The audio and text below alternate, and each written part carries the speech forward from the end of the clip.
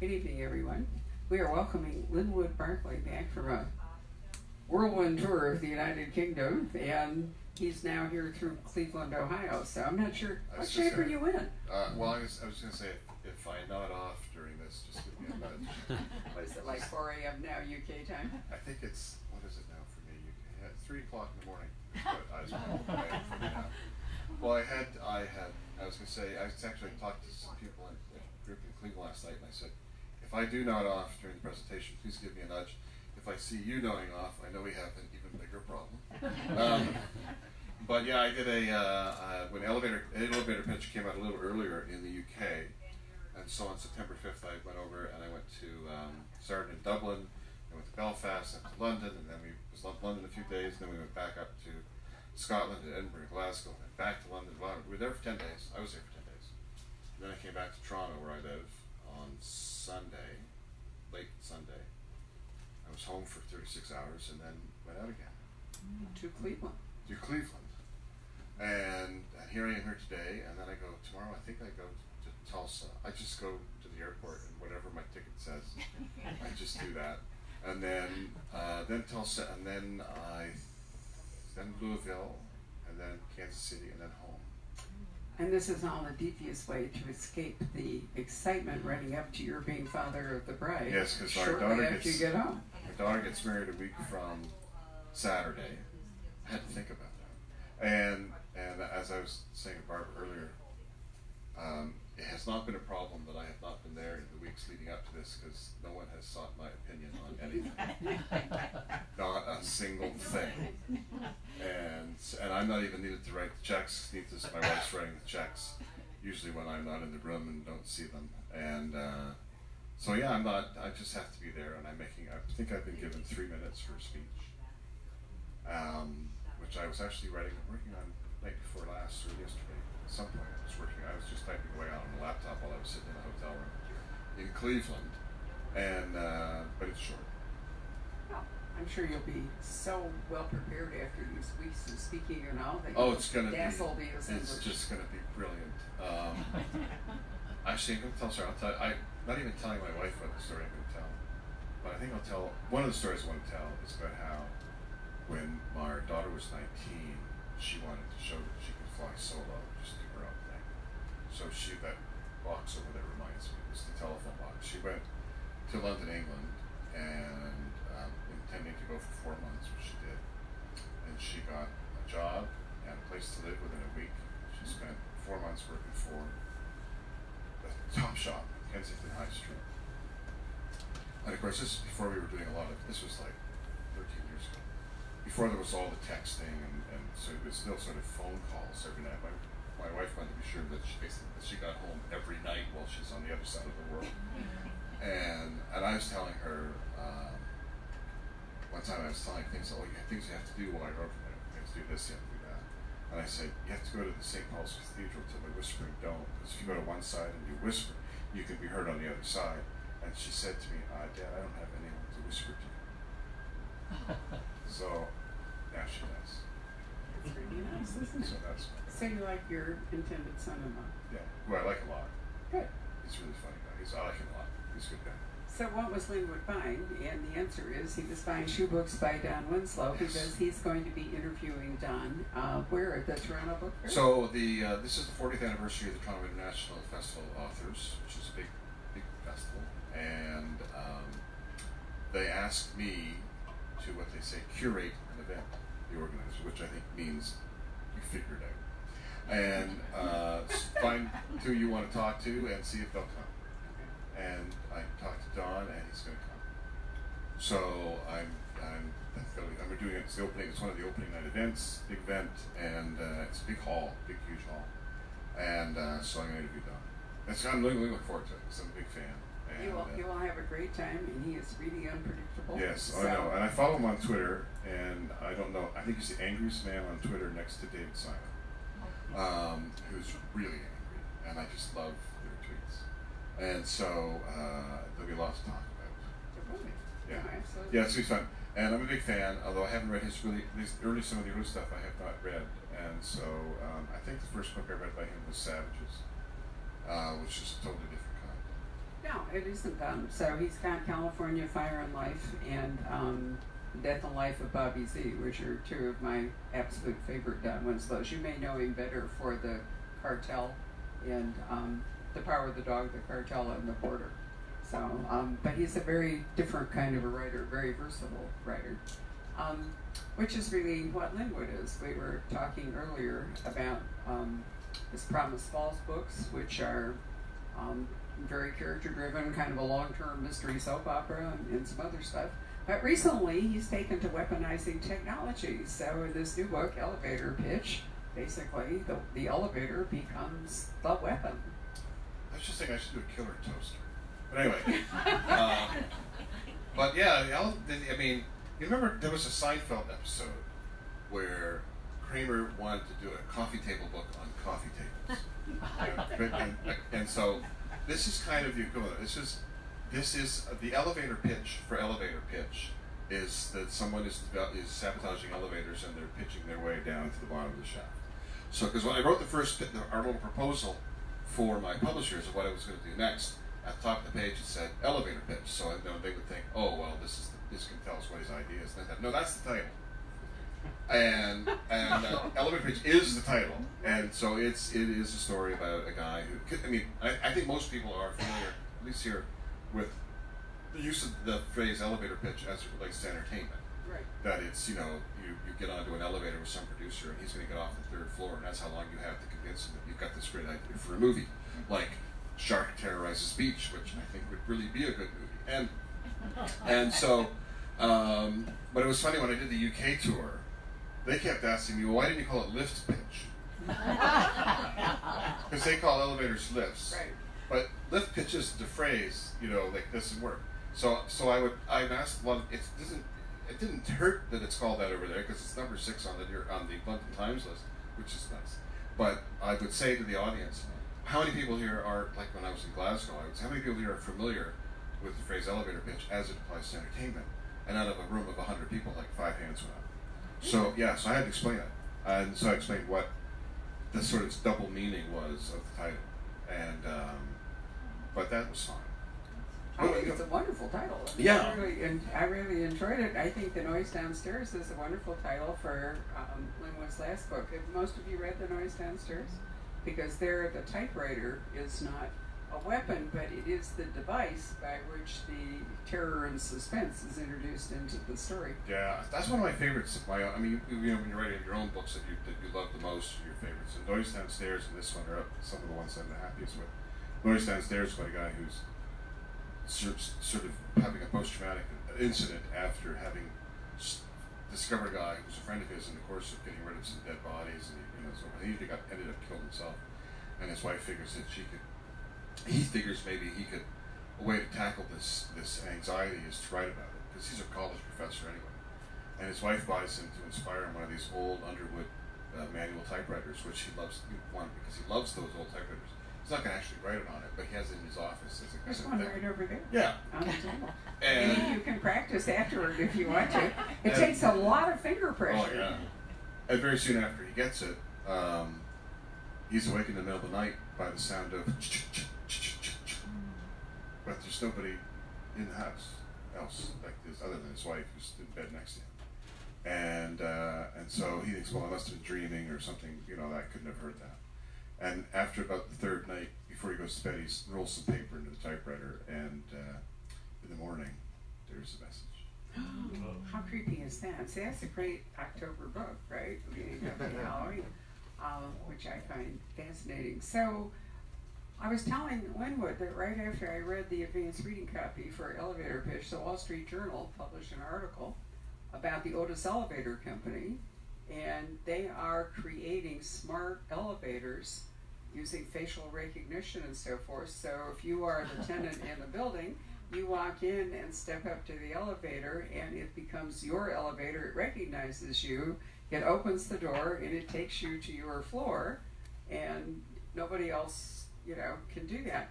And I thought it's just really setting up, um, you know, potential hacker to, to, you know, could easily become something that would kill you, right? Or allow you to be robbed or whatever might happen. I think that we've reached the point now. Any device that has the prefix "smart" in front of it is going to be nothing but a huge pain in the ass. It's going to be a real problem. Well, I mean, a smart car can be turned in somebody's car, Oh, yeah. um, you know, or a smart car basically can. I just read a thriller where, in the end, the guy steps into his smart car having um, decimated, you know, the world or whatever it all is, and the car takes him captive and takes him away, you know, to his grisly fate. Um, and he recognizes that as it's happening to him, and you know he can't get out, and so it's really very nice. But what I, what I found when I did this book about elevators and this um, is that people are way more freaked out by elevators than I realize. Far more people than I realize are really troubled. They're not happy with them, and and uh, and because I guess they, they seem to present a kind of intersection of phobias. There's claustrophobia, fear of heights, fear of falling, loss of control, and then that whole thing about getting into a crowded space with people you don't even know. All these things come together, and so a lot of people just don't like them. And in some of the events I did in the UK, as one guy came up and says, "My wife has never been in one. She won't go in them. She's just she's just freaked out by them. She doesn't matter how tall the building is, she'll take the stairs. No, the buildings are lower over there anyway. So it's not a big deal. Um, but but I mean, it's just she, she won't do them. She won't she won't want them. She won't she won't fly either. But that's that's another book. Um, but uh, but a lot of people are really totally freaked out by it, and it was fun to do. Uh, I was telling you before. It was fun to do some of the research for this. You know what what research what I did, the amount that I did. I went to um, Toronto has a great many skyscrapers. In fact, if you haven't been to Toronto in ten years, you'll re- barely recognize it. It's like Hong Kong. There's just so many massive condo towers have gone in. The skyline is transformed. So I, um, uh, this fellow who oversees all the elevator operations in one of the big office skyscrapers took me around. First, I thought, well, he probably won't want to when I tell him I'm writing a book about a guy who sabotages elevators to, you know, to kill people. And I thought he's going to just say, well, I, I, I really don't want to talk about it. First thing he said was, oh, that's great. I can think of all kinds of ways you could do that. So, so he took me around, and we did really, some really cool stuff. For example, like we would go to the 20th floor, and we could get off the elevator, but then he had this device that he could do all these things with, and he would leave the door open, and then we would send the elevator to the 19th floor, so that we could leave, and then we'd leave the door open at the 20th, and we could look at the top of the elevator, and look at the car, and look at the cables, and all this sort of stuff, and step onto the top of the elevator, and all these, all these other things. But this device that he had looked like a really large TV remote, basically, and he said, with this thing, I can control, I can do, I can control every elevator in the building and everything that it does, up and down, doors open, close, the whole thing. I said, wow, that's pretty crazy gadget. I mean, I, those must be hard to, to get. And he said, oh, you can get one of these for 500 bucks on eBay. And, and I thought, now, as a regular person, a member of the public, you might think, that's not, that's not a good thing. But as a thriller writer, it was like, yes, this, that's so great. I have a book. You know, um, now, and you would have to know a lot about how to use it, how to inter- how, how to create the interface between it and this particular building. This, it wouldn't be easy, but the fact that that's a device that you can buy, I thought that's really that's wonderful. So you, you took this book. You took this book to Manhattan, where there are a significant number. Yeah, of, it seemed I mean, right place. You can't really live in New York in a high rise unless you are willing to take the elevator. It just wouldn't pan out. But I was also thinking of you some years ago when my husband and I went to Istanbul, and we checked into the Pera Palace Hotel before it has been modernized. So this is the old Pera, Palace Hotel where Agatha Christie stayed. It's the terminus of the Orient Express. She was in room 400 and something, uh, where she wrote, you know, they came to Baghdad. But it had the first elevator in Istanbul, and it's this shiny silver, steam powered originally, but now I can't remember. And it's a serious antique, and they have a uniform guy whose only job is to operate the elevator. But he's not just a guy that sits on a stool and, you know, fix the floor. He actually has to rev up the elevator. And it only goes up two floors. You know, I mean, it's not, it's not, it's not a tall building, but you wanted to do it for the experience, and you know, it, it's hard to believe because I mean, it's only a little over a hundred years ago that this was the elevator. Yeah. You know, um, and it's a, it's an amazing technology. You know that has If you fly into the Dubai airport, for example, the Krupp, the Thys- is it pronounced Tyson Krupp? I never can remember. T H Y S S E N Krupp. You, they, they do the all of the stuff at Sky Harbor. If you fly in and out, you will look at the escalators and the elevators and stuff at our airport are all ThyssenKrupp. It's a German and anyway, their thing, their big thing is elevators, and the Dubai airport is like a thousand levels of stuff. And there's all this wizardry going, you know, up and down elevators, escalators, you know, all this other stuff. So clearly, it's an enormous um, technology, you know, that there's uh, real serious investment in. And we're, and of course, Dubai is that has that one astonishingly tall building. What is it, 140 floors or whatever? That's the one that was in the Mission Impossible movie. I didn't go in it. Um, so we, I've been invited to that festival in February this time, this next year, the one they have in Dubai or Sharjah? uh, Dubai. Well, Sharjah I've been invited to as well, but I don't think I can do it. But the Dubai one in February I've been invited to, so we'll be seeing that. But you know, it's I guess there's sort of two main these two main names you see when you go in the elevator. There's Schindler and there's Otis. And I kept wondering In if I this should- country, right? Yeah, I Most- kept wondering if I should have called the book Schindler's Lift. Well, you would have satisfied your UK audience if you That's right. called it Schindler's Lift. See, they would have gotten lifted in that elevator. I think I'm here all week, folks. I think elevator pitch was a wiser I think choice. it's probably better, yeah. a wiser choice indeed, right? So you must have had a really good time um, working out the. I mean, this is. I mean, it's character driven, obviously, Yeah. and you have to have motives. But you must have had a really good time figuring out the technology. It was it was a really this was a very fun book to do, um, and uh, and you know there's it, it, it starts on a Monday. There's sort of there's an elevator catastrophe on Monday, which they think is just an accident. Then there's one on Tuesday, and they think, wow, what a coincidence. By the time Wednesday rolls around, they realize we we have a problem. And but when I was writing it, I kept thinking, what's the next really bad accident going to be in Helen? And I couldn't wait to get to each one. And uh, you know, but but it is. But I and of course, it's the, as you say, the book isn't just about those events. It is. There's. I think it has a lot of really interesting characters. It's got this mayor of New York, um, whose name is Richard Headley, but the press likes to take Richard because a lot of people whose name is Richard is go by Dick, so they call him Dick Headley. Um, and, uh, and he is kind of that. And uh, and, humor for everybody. and and a couple of interesting cops. Uh, one who's kind of having a bit of a PTS, PTSD problem, and then the character I really love is a woman named Barbara Matheson, who is a, a political columnist for an online uh, for a website, because you know newspapers are all and uh, I know all about that. I worked in it for years, and I think so. She's kind of a different kind of columnist. She's not waiting to write a column for a paper every day. She's writing uh, things as they happen, and she's doing opinion pieces and she's really got it in for the mayor. And so, uh, but she, when the first uh, elevator catastrophe happens, one of her someone she knows is is a victim in it, and so she becomes involved in this, and she's trying to figure out, as is everyone else, who's doing it and why. And uh, which we're not going to reveal which we are not going to talk about. right presently. Um, but you know, I mean, I, all of your books are character driven, even if you're deciding to introduce technology as the um, methodology, so to speak. But um, I've always liked the different sets of characters that you have drawn. We were talking earlier tonight about No Time to Say Goodbye, which is, was your first That was the big. That was Big the breakout, breakout book. breakout book. And that's when I met Linwood. We met at the Frankfurt Book Fair when he was um, over there with his UK publisher. Mhm. Have you always you you've actually had a bigger audience in the UK up For a long time, the UK has been my uh, biggest market. right? Um, I sell more books there than anywhere else.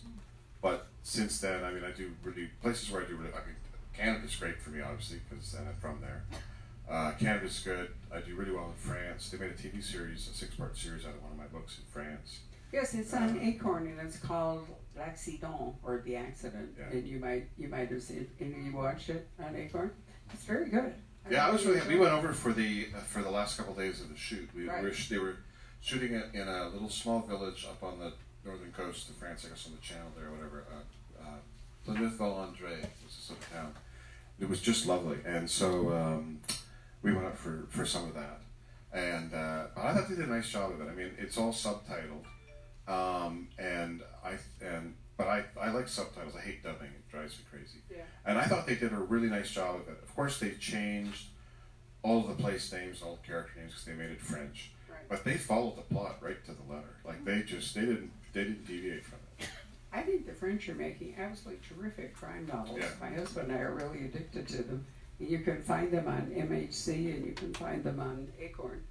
They're good because they really make use of the French landscape and the French culture along with the story. So you can have a lot of scenic, um, you know, tourists. But they seem to be way ahead. I've tried watching some of the German things and they don't, they just don't work as well for me. Yeah, I thought that the I thought that what they did for um, the accent it had a kind of Broadchurch kind of feel to it.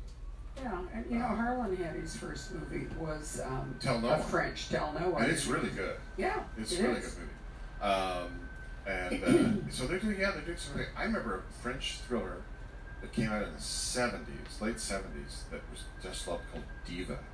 Do you remember Diva? Yes, Does I anybody do remember Diva? remember Diva. About a guy, about an opera singer who won't allow anyone to record her, all of her performances. If you want to hear her, you have to go to see her.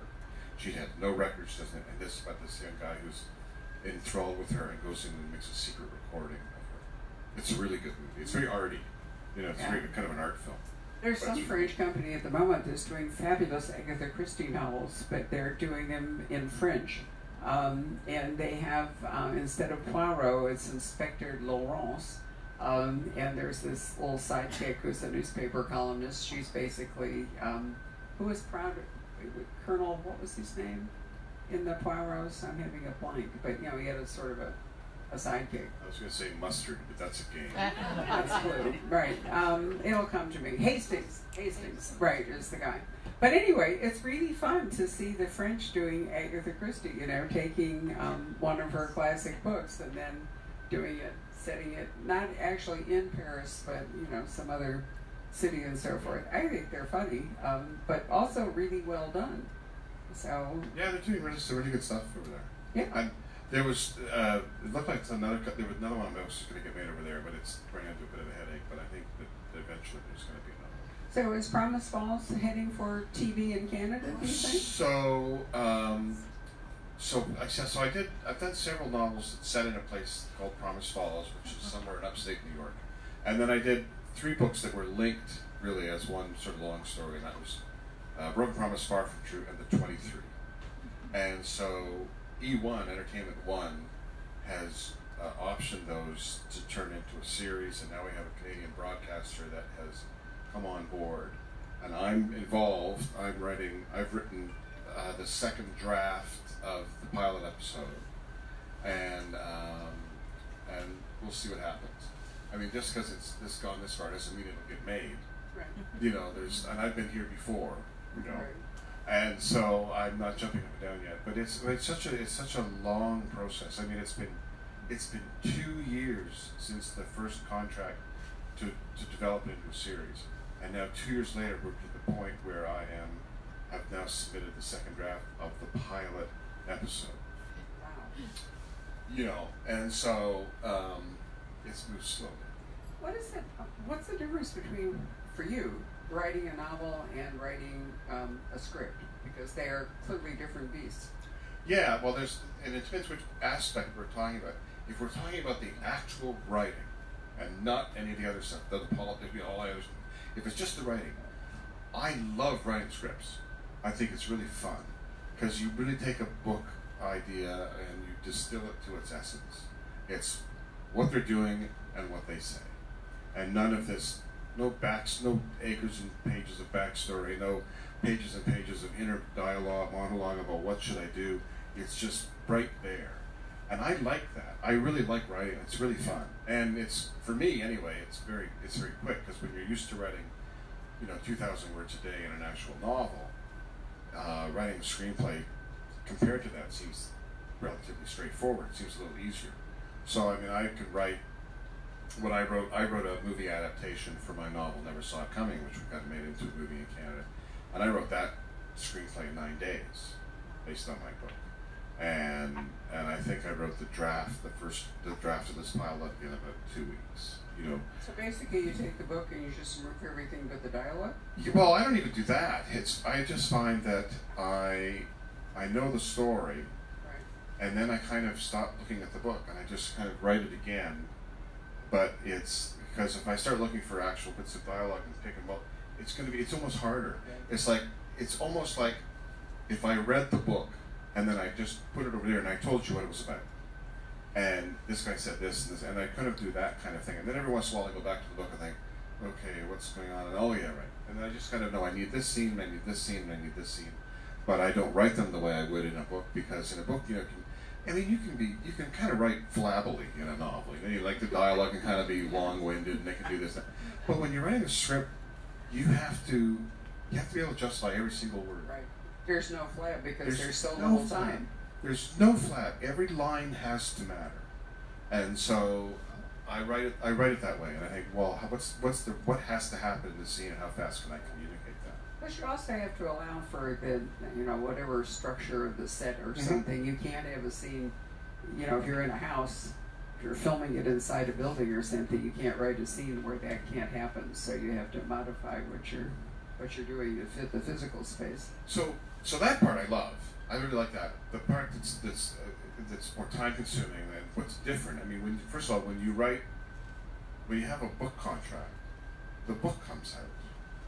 But when you have a contract to write for TV or for movie, you really don't know. Like, will it ever come out? Will they make it? You just, it, it might happen, it might not. You're just not sure. And so that's been my experience. I had this experience two and a half years ago when uh, I may have told this story here before, but a couple like two and a half years ago, uh, a guy named Martin Campbell who directed the Bond movie Casino Royale, the more recent one, and also Goldeneye and a bunch of other stuff. He wanted to make a six-part series out of my book Trust Your Eyes and wanted me to write all six episodes. So I went to London. There were meetings. I went to this network, and, and we went had a private tour of the of the uh, Parliament buildings because we wanted to shoot some scenes there. And I stood right where the Boris Johnson Yahoo would stand and yell at people. And and then I It's spent an idea for a new book, right That's there. and and I spent the next six months. I spent the next six months writing 12, 15 drafts of the first episode, which he really liked. And then finally, the network said, "Nah, I don't think we'll do it." And so that's TV. And and there's so many people who weigh in with an opinion. You know, I think well, it needs this. Or it It's needs all done this. by committee. It's all done Yeah. by committee. So so all I wanted to do when I was 15, 16 years old, growing up in rural Ontario, going to high school in the middle of the countryside in a place called Fenelon Falls, all I wanted to do was write for television. I was a kid of the 60s and 70s. I just loved TV. I wanted to write for television. And there was very low demand for it in that area because it was mostly dairy farming. And so they don't need a lot of TV writers at the dairy farm. So, um, and so, but that's what I wanted to do. And now, you know, 50 years or more later, I'm having this opportunity. I'm going, I don't know, it's a lot of work. you know, Well, it's different. I asked you that because I have an author of my own whom I'm very, very fond of, um, and he's he's a movie guy and he's a script writer, and the problem he writes books as though they were scripts, and then um, it takes an enormous amount of effort to get him to write all the bits that scripts leave out. Leave out. Because see, he thinks that because the expression, you know, the, the actor can convey so much stuff that, but in a book you have to you have to describe it. But but he's so he's so used to the the actor, it's hard for him to do all the parts you're talking about. so when he writes a novel, it's very spare. Like it's just very, very s- very spare. Yeah, and so my, my you know some some novelists you have to really cut because there's more material there than is necessary. Um, I have one of those from India who I really love, but it's all about removing all the unnecessary words so you get to the basics. But with this other author, it's the opposite thing, which is you know you you have the bare bones, and then in a novel you have to flesh And it out. And yet there are novelists like that. I think of Ken Bruen, or He's pretty spare. he's very spare, or Yeah. Elmore Leonard. You know, people like that. They Well, that's why Elmore. Leonard's books were so great for the movies. They Yeah. hardly had to touch them. you That's know? it. It's all there. Like you know, just, that's it's right. just there, right? I mean, imagine getting paid to write the screenplay version of an Elmore Leonard book. Basically, you're just using a photocopier, and you're going to get a whole bunch of money for that. That doesn't seem right. well, that's very true. And then, you know, we can go back to that great story about Raymond Chandler when and who was it that was actually writing the big the movie script of The Big Sleep? It was some other famous author. And anyway, at some point, he sent a note to Chandler and he said, Ray, you know, what, um, can't remember which scene it is, you know, why is this here? What's going on in this scene? And Chandler wrote back to him, if I know. Uh, because Chandler was not actually a terrific plotter, you know, and so he had some holes. How many of you seen the movie The Big Sleep? Have you what? Well, Oh, yes. have you ever seen the director's cut? Because the movie doesn't make any sense. I love this story. I'll tell you because it's so fun. If you see the director's cut, the part that makes sense suddenly is there. The scenes that were cut. So you say to yourself, "What happened?" And it turns out um, that what happened was that Lauren Bacall was a brand new starlet, and her agent, or however it was that was able to do this, wanted her to have more face time in the movie, and in order to keep it within the time constraint of the movie, they cut out the critical scene about which the whole plot, in order to have a scene with Lauren Bacall, that doesn't make any sense because it wasn't in the book. So if you seriously, Betty, you should go and watch the director's cut version, and it's like you know, all of a sudden. So even though the Big Sleep as a book is not perfect, the movie. the movie could have been closer, you know. And that's why whole thing. Hollywood is so great to work with. Absolutely. Yeah. it's just, I Imagine was if, that just happened, imagine if that happened while you're writing a novel. and Someone knocked on the door to your study and said, um, "You're gonna have to take out all these scenes here because I want you to put this my girlfriend in your book or something." You know. Which is exactly how it is. Sorry? They No. can't- They can't get enough people to sign up for the screen, get in, break into Hollywood. No one has signed up for that at the conference next week because everybody's just had it. Frustrated. You, you write something for three years and they cut it. Yeah. Well, there's some, you know, I had the joy. There was a, I don't know if any of you watched, um, oh, Person of Interest. Do you remember Person of Interest? I thought Person of Interest was really fabulous. And then all of a sudden, it kind of went south.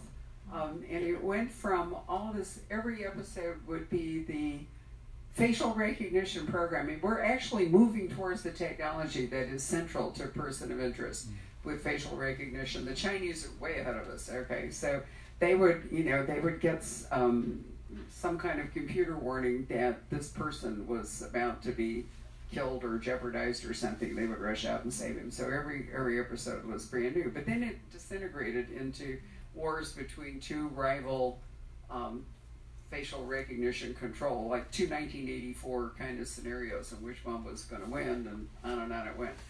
But there was a really horrendous ending to it, and I was so pissed. And then magically, magically, we did an event one night with Joe Ide, and I'm trying to remember the name of the woman.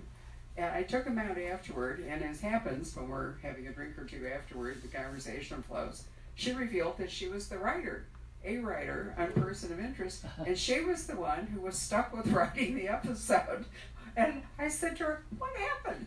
And then she pointed out that it was, in fact, that kind of a committee decision thing, you know, and that she got all this hate mail, you know, for being the writer that had done this and the whole bit. But it, I was, you know, I realized that the, the reason I didn't like the, the way the show ended was because it turned into this kind of group effort. And You know the the um, uh, my two favorite movies ever are Rear Window and Vertigo, two Hitchcock movies. And sometimes my favorite movie is Vertigo, and then the next day I think no, it's Rear Window. But there's a scene in Vertigo that makes no sense. And it's when he's following her and she goes into the rooming house where she's supposedly rented a room as Carlotta Valdes. And then uh, Jimmy Stewart goes in to go up to the room and the woman who's Ellen Corby from the Waltons is on the front desk. And she said that she didn't come in and he didn't she didn't see her. And so it's like she just went into this place and she just evaporated and vanished. And it doesn't make any sense. Mm-hmm. And I was so puzzled by it. I've watched the movie a hundred times, and I watched it and I thought, I have to go online and read about this. And and so they asked Hitchcock, it wasn't a committee thing, they asked Hitchcock, what about that scene? And he goes, yeah, and it was kind of like his response was, oh yeah, it really doesn't make any sense, but it's one of those kinds, I'd like to do a scene where later after you've seen the movie, you'll get home and you go, wait a minute. what the heck? What, what? So he just threw it in for that. He could do that. Yeah. No, he did. I mean, I think his movies, and then his wife was, you know, Alma was a big Yeah. part of all the Hitchcock movies. But wait, when we lost Hitchcock, we lost a lot. I Oh, thought he was just amazing. Um, the, I like that. I didn't get great reviews, but I like that movie called Hitchcock, where um, uh, Yeah. oh, what's her name? Helen Mirren plays his wife, Alma. And it's what's his face is you know Silence of the Lambs guy is the plays Hitchcock with a lot of makeup. He's- I like that movie a lot. It's really interesting. I don't know how much. I think a lot of, and and um, uh, Scarlett Johansson plays uh, Vera Miles, whatever, in the playing in Psycho or whatever. It's good. Yeah, It's an interesting movie. Have you ever thought about writing a novel about about a movie or about movies? You could write an interesting suspense that were set. Not so far. That's the idea. I mean, I'm not saying, I have I haven't thought of doing that, but you never know.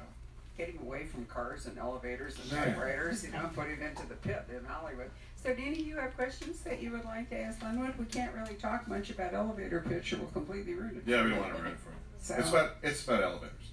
I do have an elevator pitch question. Yep. I'm one of these people who's afraid of elevators. Is this going to make it worse? You're my target audience. I mean, if you're not afraid of elevators at all, I mean, why would you even read this? It's like, well, this doesn't bother me.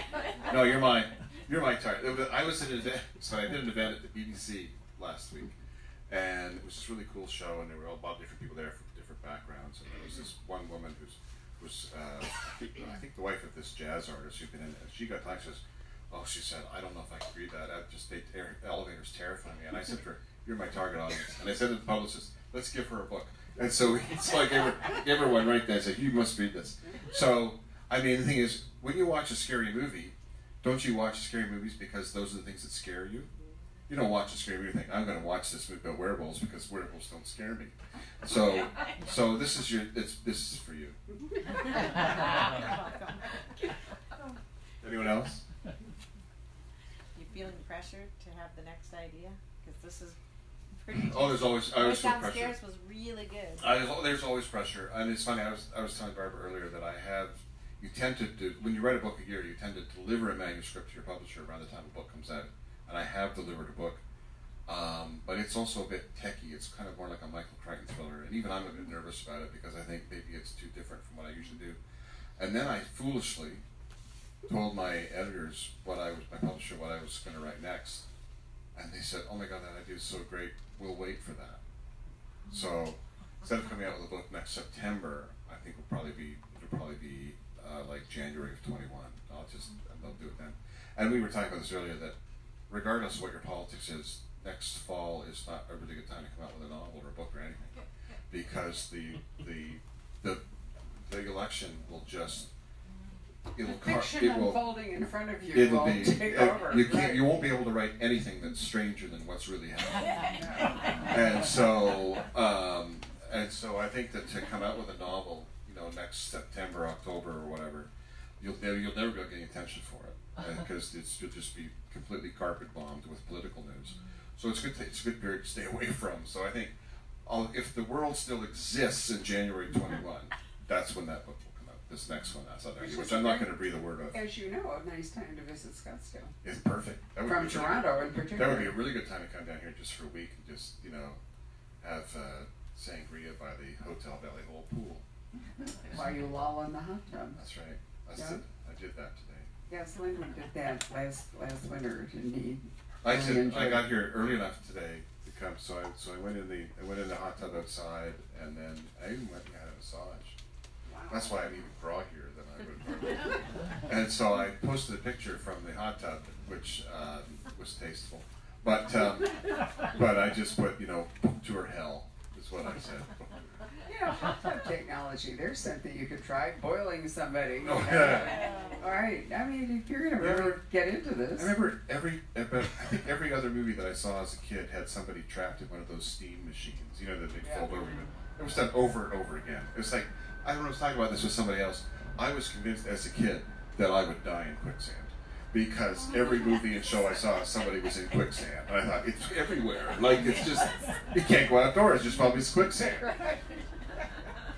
Interesting how we get phobias, isn't it, when we're kids Well, based really, no, stuff. it, it was always that whether it was the Three Stooges or Abbott and Costello, but they always everybody was everybody was in the jungle and they were trapped in quicksand every episode.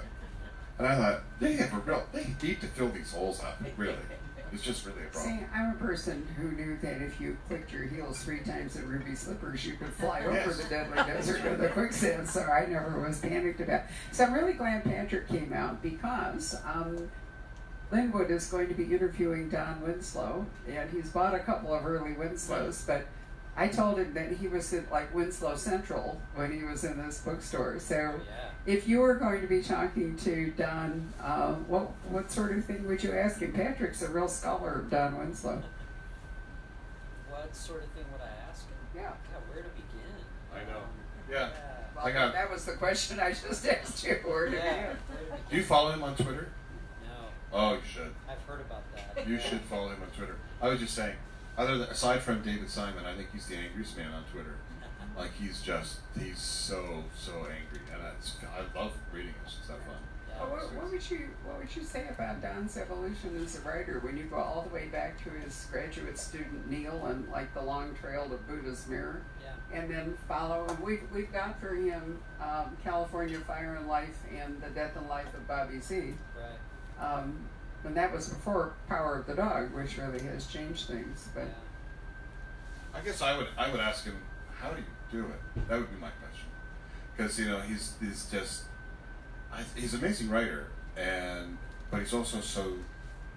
I, I think if if you were to read Savages and also read The Border, you would think that's the same guy. Exactly. Yeah. yeah, Right. That's the same writer. Like he's like, as a writer, he adopts a, a different persona for some of his books, and it's as if it was written by somebody else.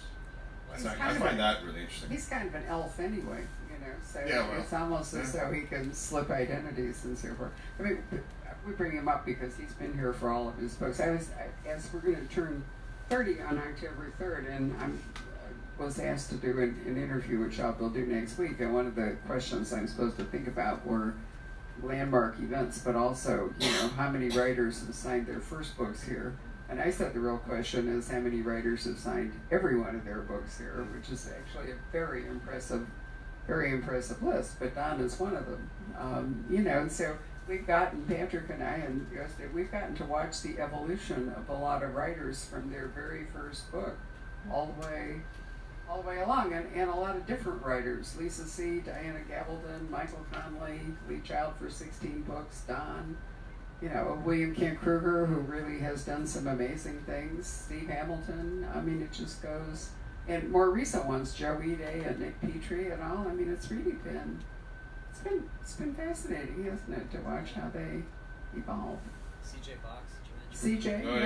yeah. and Craig, who will be here tomorrow night. Craig Johnson, all of his books.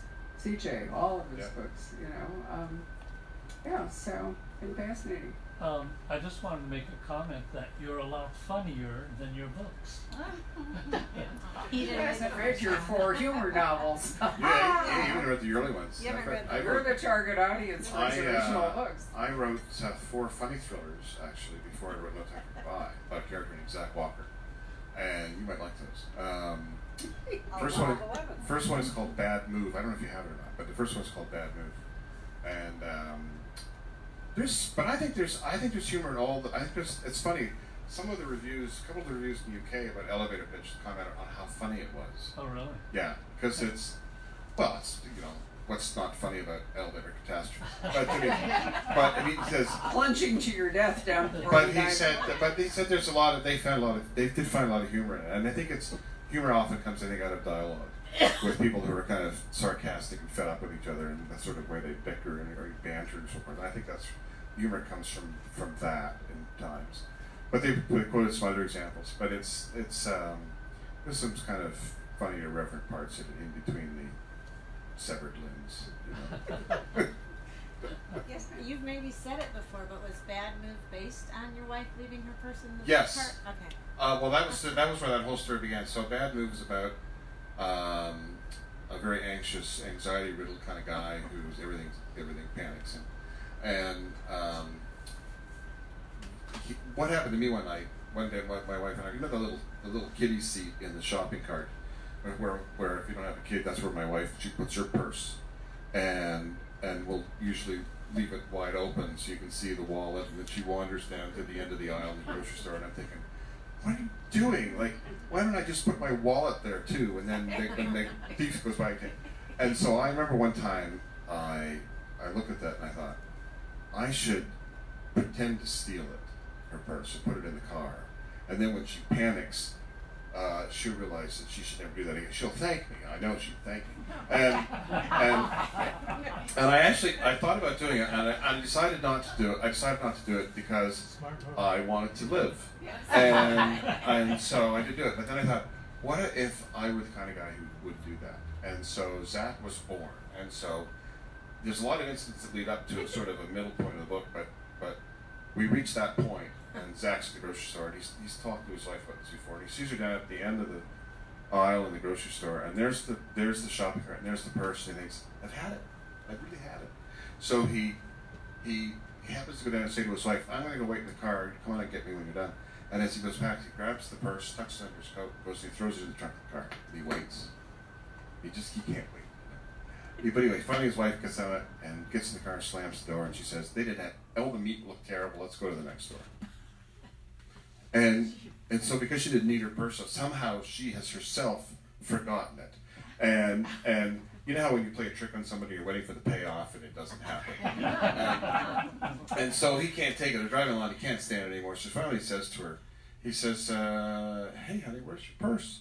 And she sort of panics briefly, and then she says, "Well, you know how you've always been going at me about how I'm always leaving my purse where somebody could find it. So I got one of these little fanny packs."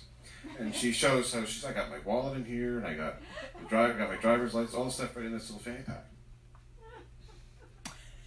So whose purse is in the trunk of the car? That's not even the funniest part. I but that was how it all began. So, and it's funny. I started writing that book, and that that incident was chapter one, and I wrote hundred pages of that book, and then I realized, no, I have to have other events that set up his character first, and so then I realized I'd written the middle of the book, and then I wrote all this other stuff before it. So anyway, you might like those, but Zach, he means well. Yeah. You mentioned a couple of times that his Twitter account uh, statements are so angry. Don, what what are they angry about? What's he Politics. angry about? I- Politics? Politics. There's there's apparently a, a, a politician that a lot of people don't like in America right now.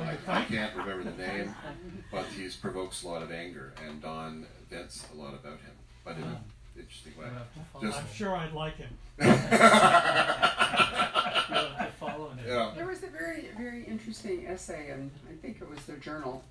I don't think it was the Time. I think it was the Wall Street Journal that said this particular politician has created a perpetual state of war, and he's at war all the time with everything, and characterizes all opponents and so forth as enemies, traitors, whatever. So he has created a a, a war mindset rather than any kind of a cooperative mindset. And I thought that was really, um, really insightful. And I mean, if you and if you've read Don's book, The Border, or any of that stuff, you you will kind of know where he's coming from. Yeah. But uh, but he's interesting to follow, and for other reasons too. Are you on Twitter? No, I have it. I don't ever check it. Yeah, I'm on I'm on Twitter like a hundred times a day. Uh, I post on it a lot, Well, then I'll and start following you. and I post on it a lot, and I read a lot. I find stuff breaks there, uh, fa- very faster than anywhere.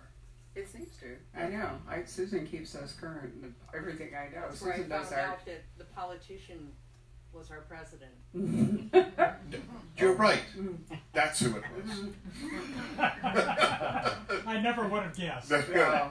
it comes back to me now. Yeah, No. but there, there really is a lot of uh, interesting, and, and there are some people who find a natural. I mean, like Ian Rankin, whom we all love. Ian's great Twitter, Twitter is his like natural, you know, place to hang out and so forth. So I keep up with Ian. whom I'm very fond I- of by just following Twitter. You know, for for 14 years, I wrote three columns a week for the Toronto Star, uh, allegedly a humor column. But they were about 600 words. Then I gave up that column to write books full time. But every once in a while, I get an idea that I think, wow, I would love to write a column about that. But I don't have that outlet. So I have Twitter. So I'll take that idea and I'll do it in 280 characters, which now tells me that the columns were overwritten. So I get the whole idea out 280 characters, and it used to be Maybe- 600 words. Maybe the essence of humor is brevity. Oh, yes, brevity is the soul of wit. That's the There phrase. right? Yeah. Yeah, I think that is the That's right. phrase. Brevity Was that the Oscar. Wilde? I don't know. I think it's. I think- it's I think it's me. Well, on that note, why don't we thank, why don't we thank Linwood Thank for coming all this way to see us today? And It's really been a lot of fun. I'll say goodbye to our video fans and so forth. Um, and would you like to